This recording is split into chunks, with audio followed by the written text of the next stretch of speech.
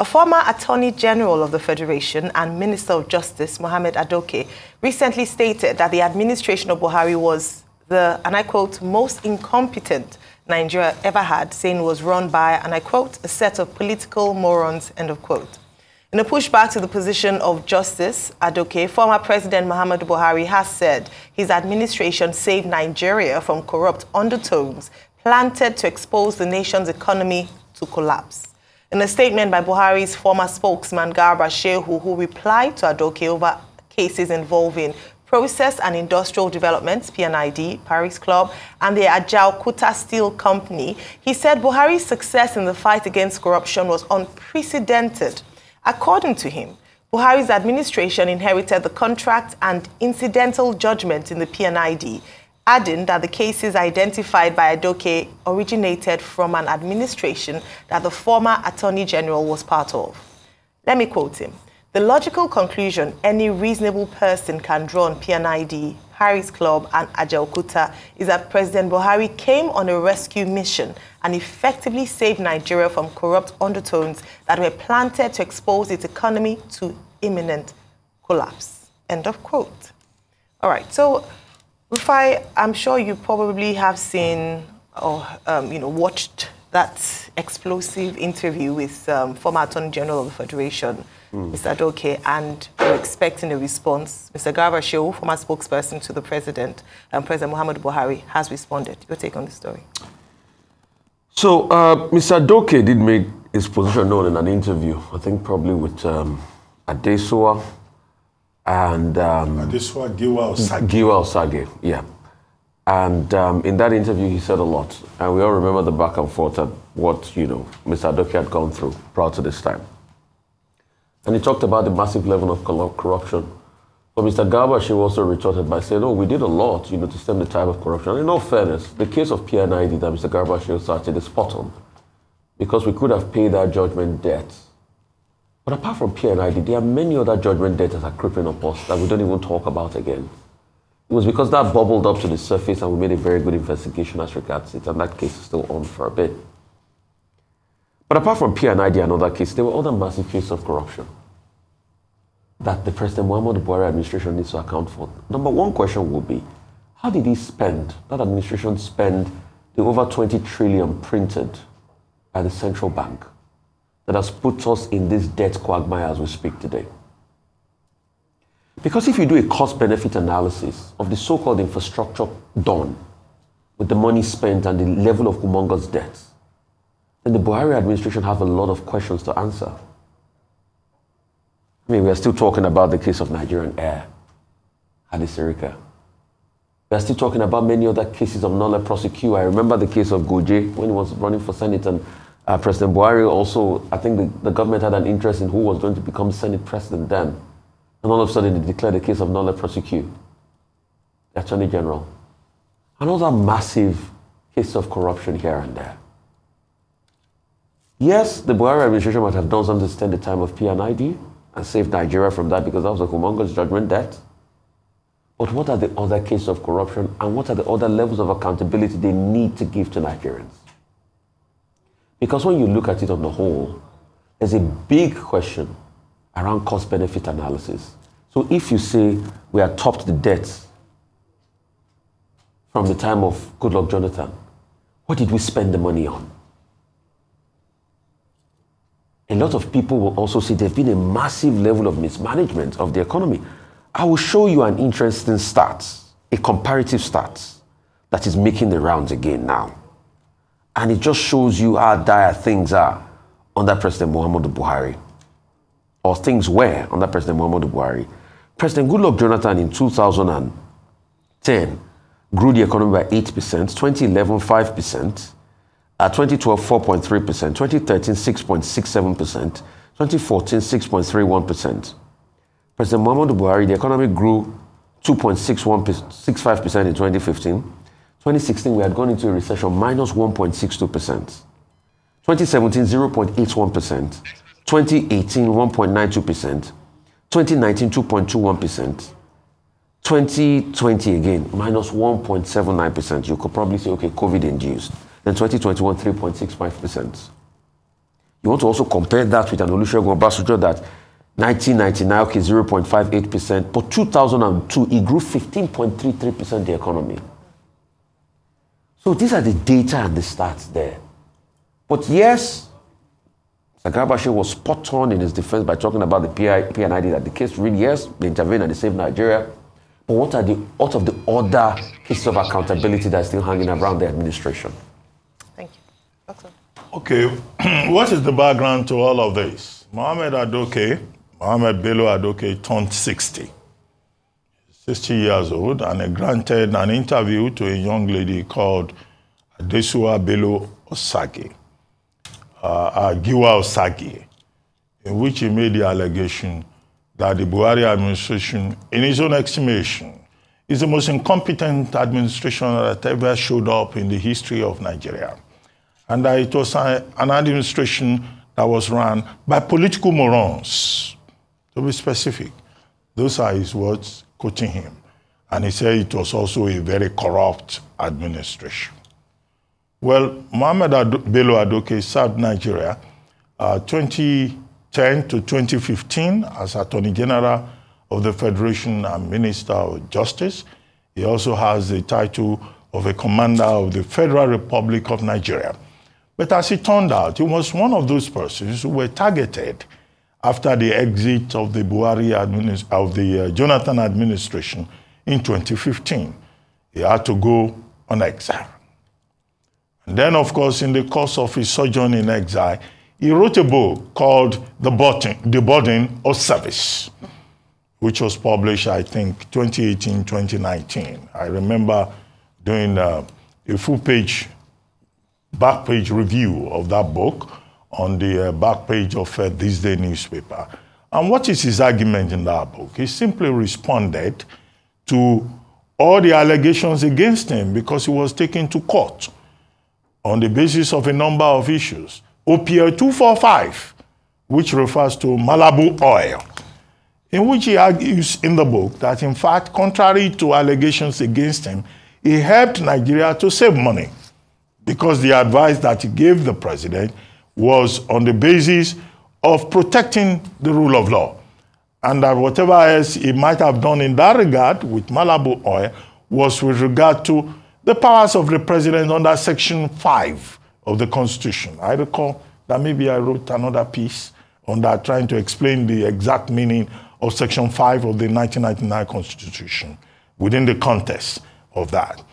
He also responded in that book to the Ajaokuta steel issue you know, all the judgment debts and all that, and talked about reform, particularly with regard about how, you know, uh, judgment debts have been used to perpetrate corruption, uh, you know, within the Ministry of Justice, and how he had tried uh, to check uh, all of that.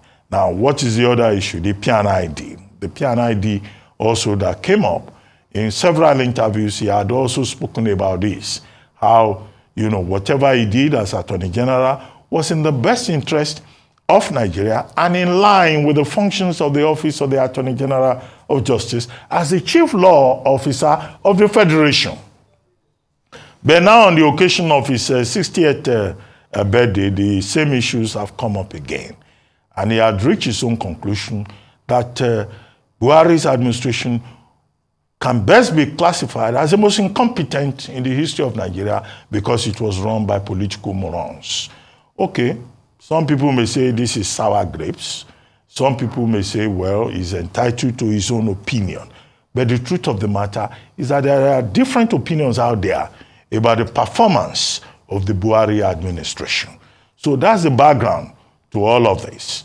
Before we go to the other side of it, let's congratulate Mohamed Bello Adoke on the occasion of his uh, 60th uh, birthday.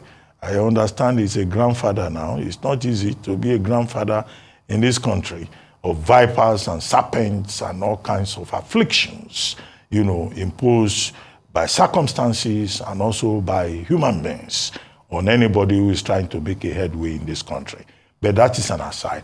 Now, Garuba Shehu, who seems to have remained actively on duty for President uh, Muhammadu Buhari, has now come forward to say he disagrees with uh, Mohamed Bello Adoke, and that if anything, what President Muhammad Buhari did was to check corruption, to save Nigeria from the uh, affliction of corruption that had been imposed on it by the uh, Jonathan administration, under which Mohamed Adoke was, uh, was uh, Attorney General and Minister of Justice. Okay, two sides of the same, of, of, of the same coin. Okay, uh, Garuba Shehu still on duty, defending his principal. You may say out of loyalty, he's still doing that. I don't know why he has not moved on to something else. When people leave office, they should find something else to do.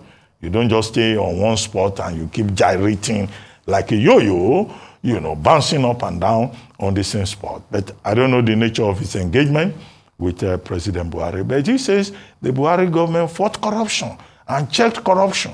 Okay, other people have different opinions. Apart from uh, Mohamed Bello Adoke, uh, you know, uh, there are other people who say, well, corruption got worse under President Buhari. After all, the tripodial proposition that he uh, put before Nigerians was economy, security, checking corruption. The, the, the, popular opinion out there is that the administration did not do anything about corruption. You have the uh, same uh, uh, Tinubu administration, which is an APC to APC administration, appointing a special investigator to look into some of the affairs of the Buhari administration. You have principal officials in the uh, uh, Buhari administration that have been taken in and detained, interrogated by the Tinubu administration. We had recently Wale Edun, who is uh, Minister of Finance and uh, Coordinating Minister of the Economy, an APC chieftain, in, in a sense, who has also come out publicly to say that uh, the Buhari administration ran the Nigerian economy aground. That's not uh, Bello Adoke. That's uh, Wale Edun, their own Wale Edun, condemning them. So there's a lot to this matter, and people should just not be emotional about it. You know, you can say people are entitled to their views, but the truth about, you know, the Buhari administration will still be out there. Would the Tinubu administration have the courage to dig deep and find out. After all, they've been saying so much happened with uh, uh, fuel subsidy. Now they are rescuing it. After all, they said so much happened with Anchor Borrowers program, which they are investigating.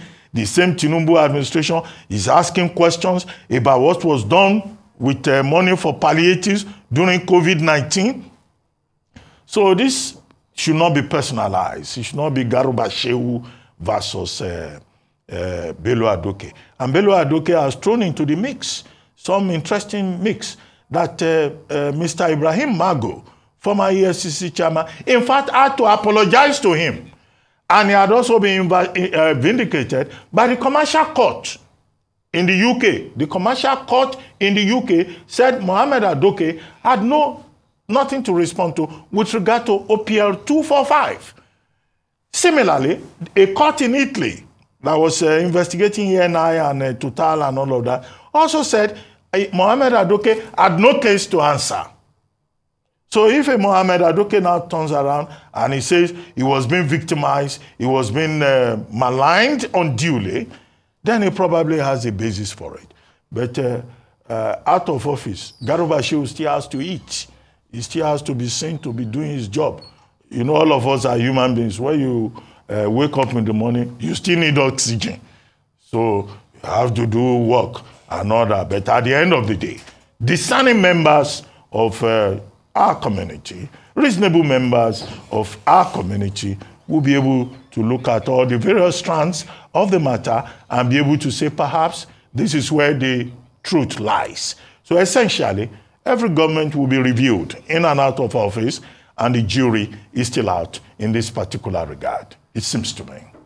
All right, so very quickly, um, the big question would be, as has already been asked, since um, the last of the eight-point agenda of President Bola Tinubu was announced during the first Federal Executive Council meeting was anti-corruption. So the question had been asked again and again that would he be courageous enough, would he have the boldness to probe the activities of the previous administration, which a number of independent um, reports have tagged it as fantastically corrupt. So when you look at the US country report on human rights practices, Transparency International, they have released reports um, judging the Buhari administration as being very corrupt. As has been said, um, we didn't expect any different from Malam Garba Shehu in saying that oh, um, the, um, President Buhari saved Nigeria from graft. A few questions and a few um, things that he still need to answer, and perhaps I would give more light to his claim that President Buhari, fulfilling his campaign promise, according to Malam Garba Shehu, fought corruption during his eight years in office. The first thing is that what has happened to the um, investigation around the former Accountant General of the, of the Federation, Ahmed Idris, with 109 billion naira under the President Buhari administration. We have um, monies allocated to the um, you know, turnaround maintenance of the refineries, Eight years, refineries didn't work. Four refineries didn't work. Look at this, um, the racketeering and the rent seeking with fuel subsidy eight years under the President Buhari administration, that is still a question to answer. A number of schemes, school feeding scheme, remember that they said they spent billions of naira during COVID-19 when students were in school, feeding school children. Until now, despite invitations by the House of Representatives, no, um, there's been no accounting for it. We don't know who um, the children were feeding in school during COVID-19. We have programs that are shrouded under a bit of uh, you know secrecy in terms of transparency in spending, like N-Power. Um, we have um, um, the programs like TraderMoni. These, these programs and schemes were said to also have been greatly corrupt. Also, we look at um, ministries and ministers who came under um, challenges of corruption or allegations of corruption under the same President Buhari administration. Remember the case of the Minister of Education, Malam Adamu Adamu. Remember the case of the Minister of Health in terms of um, um cash um, flowing back to um, you know being being bribed by their underlings and cases that have still remained on you know remained on under investigated Nothing has come out of it, no investigation. All we know is that money is missing, things are not adding up, and corruption reigns supreme under the administration that promised Nigeria during its campaign that it was going to fight corruption. It was going to wield the big stick against corruption. Unfortunately, this didn't, this didn't quite happen. The same with the PNID, even though Malam Garba Shehu is, is isolating that, but to be fair to Nigerians, it's time to tell the truth. I doubt very much if President Bola Tinubu will probe the previous administration. Maybe a few, um, you know, ministries here and there. But the reason why it's important to look back is so that we can learn certain lessons. And we've always talked about strengthening institutions. Um, President um, uh, Olusegun Obasanjo had come out recently to say that ministers under his administration were not allowed to approve certain amounts of money above a threshold. We need to put systems in place to prevent MDAs from being a reign of corruption and individuals amassing wealth when they are supposed to be serving the people. President Buhari's tenure was not anti-graft, did not fight corruption. In fact, corruption reigned. Moving on to our next story, President Bola Tinubu will depart from Abuja today to attend the G20 summit in New Delhi, India from September 9 to 10. Ajuri Ngelale, presidential spokesperson, says Nigeria is exploring G20 membership after assessing the potential risks and benefits. South Africa is the only African member among the world's top, top 20 industrialized nations. During the summit, President Tinubu will participate in the Nigeria-India Presidential Roundtable and Business Conference, aiming to attract global investment and discuss his renewed hope agenda for economic reform. He'll also hold private meetings with industrialists and world leaders to strengthen economic partnerships. The president will be joined by key cabinet members for the G20 summit in India, including the ministers of foreign affairs, finance, communications, and industry, and will return to Nigeria after the summit. President Tinubu goes to G20 summit. Fine. Okay. The thing about this summit is it's also a good gathering place to be able to meet a lot of people. And also the silence of the G20 summit, there's something called the Business 20, you know, where you have uh, people uh, that talk about, you know, business. Uh, Tony, Tony is co-chair for that. The Metals are also on that. It's also about business.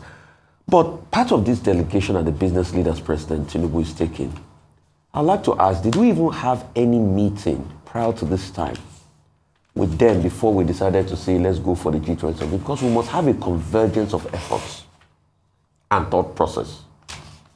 Secondly, What is the KPI set out by this administration as regards going to the G20? Yeah, there are talks about joining the G20. But what is the KPI set up? What do we need? What do we need from India? India has a lot of advancement in science and technology. You saw what they just launched the, uh, to the space now. India has a lot of advancement in pharmaceuticals, and that's why we had a portfolio of business owners. That's good. But did we talk internally and say, okay, these are the things you should be required from India? If we didn't do that, it's bad. Because we need to have that meeting internally with our business leaders. And also, it's not just only G20 meeting, but also a periodic meeting. It's not going to be bad if we have periodic convergence with business leaders cross sectorally with the president to be able to itemize the need in this sector. So that is of importance at first before we go out there. Then how can we tap into this, apart from India, but from other G20 nations? And to look at possibilities as which we can grow our economy. Because the priority here should be symbiotic development of economies around the world. And see how we can tap into the resource base. There's something called friendshoring, where people you are affiliated to help you boost your economy when you're down. Example is what happened to Russia. Russia enjoyed it when the Ukraine war started, when other parts of the West were not ready to buy their oil. But guess what was happening? India was still buying their oil big time. China was still buying their oil big time. Over the years, North Korea still enjoyed the fact that China buys most of its produce, or I mean materials and things like that, to be able to show up the economy of North Korea. So, what can we benefit from the G20? And most importantly, we have a big revenue problem. Most of the countries we are going to meet there, we have huge trade deficits with them. How can we grow trade? How can we have value added industries? Those are the conversation we should be having in G20 because President Tinubu's greatest task is how to show up revenue. All the problems we keep shouting that we don't have money. If we have a revenue base of over 100 billion dollars governmental revenue year on year, the country will leap. Okay, this is the, um, you know, um, the second um, G20 summit after the last one in uh, Bali, Indonesia in November 2022, which provided an opportunity for President Biden and President Xi Jinping to meet on the sidelines of that summit. This year's uh, G20 summit in India is also coming against the background of the recent uh, BRICS summit in uh, South Africa. So that gives it a certain significance in terms of the thematic focus. India is hoping that with this G20 summit, it will be able to further you know, solidify on its aspirations uh, as the next major economy in the world. So the theme is about one earth, one humanity, and all of that. So within the context of one humanity and all of that, you have these other countries being invited on the sidelines.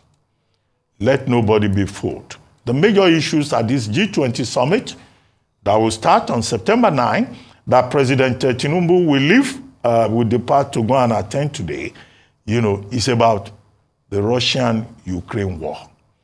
It's about commercial relations, economic relations between Russia and uh, between China and the United States. The president of the U.S. will probably be there, but Xi Jinping is not, will not be there. The premier of China, you know, uh, Li uh, is the one who is going to be uh, uh, there. The Russian president will not be there. He's sending Sergei, the uh, uh Russian foreign affairs minister. But these three major players in the G20 will be part of the major issue. Another issue there will be oil and U.S. relations with the Middle East. Another major issue will be about climate, climate adaptation and all of that, and energy and all that. Okay, why have I identified the major thematic directions that will likely, you know, uh, come up at this G20 summit? Just to show that Nigeria saying we are going there, President Tinubu is going with four ministers, is going with about 45 business people, all of these people will go with their own entourage and all of that. We don't have a seat in the room. This is the point. So, and it's a comment on where we are in the world. We're not part of G7, we're not part of G20, we go about saying Nigeria is the giant of uh, Africa. The last time President uh, Buhari attended, uh, was invited to the G7 meeting, he came up with a phenomenal statement about how the place for his wife is in the other room. That was a major contribution to a serious meeting in the world.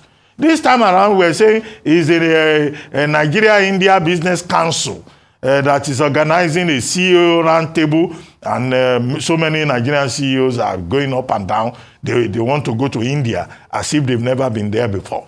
The president himself is saying he's going with uh, four ministers. Look, you can go there and have photo ops. The truth of the matter is that we're going there as the most populous country in Africa that will be there as a marginal player. And even if there are certain deals that are signed and all of that, look, it may amount to nothing. In any case, many of these things, they lack uh, follow-up uh, additives in terms of how our foreign policy process is structured. They go and sign some of these agreements, they say investment is coming. Is that how you bring investment to Nigeria? You want to go to uh, uh India, Tomorrow you go to China, we go and bring uh, investment. That's not how you bring investment. It's not through photo op opportunity. It's about turning Nigeria into a production hub, making sure that there is activity in this economy that will attract other people to say that Nigeria is an attractive investment destination. That is what the Nigerian government should be talking about. Yes, President Tinubu will go there you know, Ministry of Foreign Affairs, those ones, they are committed to activity, not policy. They are always organizing uh, activities. So they will get the president to shake some hands. I give it two, three days. By September 10, September 11, you see newspapers will hurry up and say, President Tinubu in a handshake with the president of... Those are meaningless things. If they don't translate into concrete deliverables, outcomes for Nigeria. So all this uh, fanfare, President Tinubu is going to India and all of that, please forget it. We have so many Indians here now who are doing business here. It's not as if they are going to go away at any particular time because Nigeria provides them an environment where they can make a lot of profit at the expense of uh, Nigerians. I hope one of the things they will discuss there will be head tourism between Nigeria and India and how many uh, privileged Nigerians are perpetually going to India on health tourism because the hospitals in Nigeria are not working.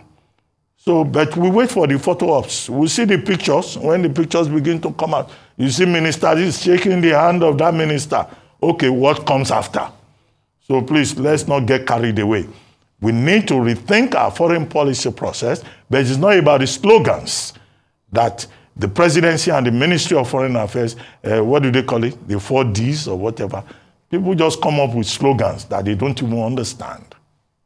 Well, the G20 is made up of the 20 most advanced and biggest economies the world. And so you would imagine that having South Africa as the only African country on that, on the, you know, on the platform is quite interesting, bearing in mind that Nigeria is a critical um, nation. The biggest economy in Africa, the most populous economy in Africa, is not a member of that um, alliance because it's important to understand that when it comes to not just individuals, even at country level, your alliances are very important to your um, standing in economic matters. We're not a member of BRICS, we're not a member of G20, and so this invitation by the um, Prime Minister of India, Narendra Modi, is quite significant for Nigeria. And I think also it's important to note that the ministers that the president is going with are key. He's, in terms of the optics, the people who are going with him, they are instrumental in terms of economic policies. He has a Minister of Foreign Affairs, he has a Minister of Finance and Coordinating Minister, Minister of the Economy, he has a Minister of Industry, Trade and Investment, and the Minister of um, um, Mr. Dr. Bosun Tijani, the Minister of um, the Digital Economy, quite important. He's also going with 38 private sector leaders. In fact, in terms of Nigeria's placing or our role at this particular summit is the fact that at the business sideline um, conversation of this G20 summit, we have one of our own, um, Mr. Tony Elumelu, co-chairing with Mr. Bharti of the Bharti Enterprises Worldwide. I think it's an opportunity for Nigeria to position itself, as Mr. Ngelale said in that um, communique, as the destination for foreign investments, for in the investment desire of the world.